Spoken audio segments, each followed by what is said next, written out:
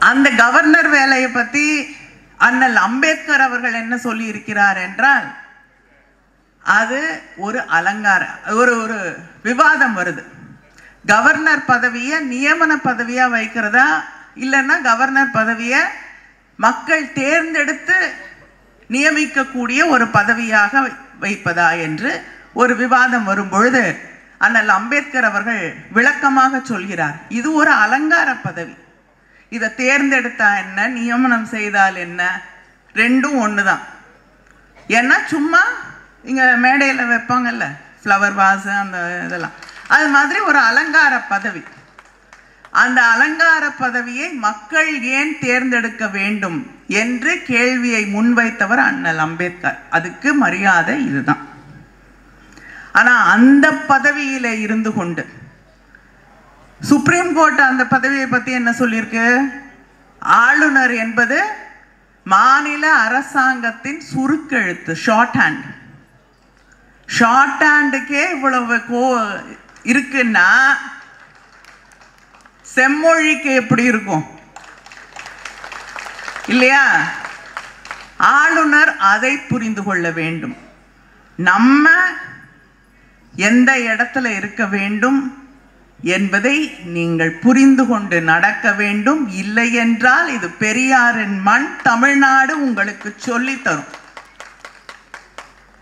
ஒரு ஆளுநர் சொல்கிறார் நான் கையெழுத்து போடலைன்னா இத்தனை கோடி தமிழ் மக்கள் தேர்ந்தெடுத்திருக்கக்கூடிய ஒரு அரசாங்கம் கொண்டு வரக்கூடிய மசோதா ரத்தானது செல்லாது.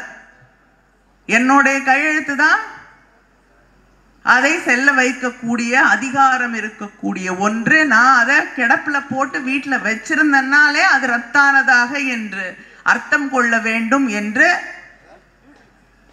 இது எவ்வளவு பெரிய புரட்டு அறியாமை என்பதை நாம் புரிந்து கொள்ள வேண்டும். ஒன்றை ரத்து செய்வதற்கும் கிடப்பில் போட்டு வைத்திருப்பதற்கும் இருக்கக்கூடிய வித்தியாசத்தை கூட புரிந்து கொள்ள முடியாத ஒருவர் தகுதியில்லாத ஒருவர் தான் ஆளுநராக இங்கே பதவியில் இருக்கிறார். அவரை கூப்பிட்டு பாவம் அந்த ஐஏஎஸ் ஐபிஎஸ் படிக்கக்கூடிய மாணவர்கள் போய் அவர் பேச்சை கேட்டுக்கிட்டு இருக்காங்களே அந்த பிள்ளைகளோட எதிர்காலம் என்ன ஆகும் என்பதை பற்றி நாம் கவலைப்பட வேண்டி இருக்கிறது ஏன்னா இப்ப சில நேரங்களில் சில பேர் நடந்து கொள்ளுவதை பார்க்கும் பொழுது இப்படிப்பட்டவங்களோட பேச்சை கேட்டு கேட்டு தான் இந்த ட்ரைனிங்ல தான் சில அதிகாரிகள் இப்படி நடந்து கொள்கிறார்களோ என்று கேட்கக்கூடிய அந்த நிலையை நாம் பார்த்து கொண்டிருக்கிறோம். இந்த மெத்த படித்த ரவி அவர்கள் இந்த தமிழ்நாட்டின் ஆளுநர் பதவியிலே அமர்ந்து கொண்டு சட்டமன்றத்திலே மக்களால் தமிழர்களால் தேர்ந்தெடுக்கப்பட்ட ஒரு அரசு படிக்க கொடுக்கக்கூடிய அறிக்கையை நம்முடைய தலைவர்களுடைய பெயர் பட்டியலை தந்தை பெரியார் பேரறிஞர் அண்ணா தலைவர் கலைஞர் பேருந்தலைவர் காமராஜர் அவர்கள் அண்ணல் அம்பேத்கர் என்று இந்த பேரையெல்லாம் படிப்பதே குற்றம் என்று சொல்லக்கூடிய எண்ணக்கூடிய ஒருவர் தமிழ்நாட்டிலே இந்த பதவியிலே அமர்ந்து கொண்டு இன்று தமிழ் மக்களுக்காக இயற்றப்படக்கூடிய சட்டங்களை கிடப்பிலே போட்டு வைத்திருக்கிறார். கிட்டத்தட்ட ஐம்பது உயிர்களை அவர் பலி வாங்கியிருக்கிறார். கல்லூரியிலே படிக்கக்கூடிய மாணவர்கள் அதில் அடக்கம்.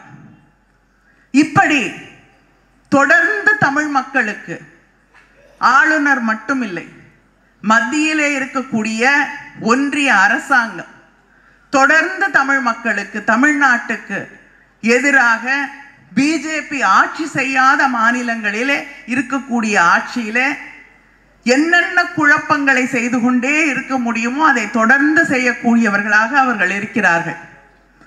முடிந்தால் ஆட்சியை கலைப்பது ஆட்சியை மாற்றி அமைப்பது. அதை தமிழ்நாட்டில் பண்ண முடியாது. தலைகீழாக நின்றாலும் முடியாது.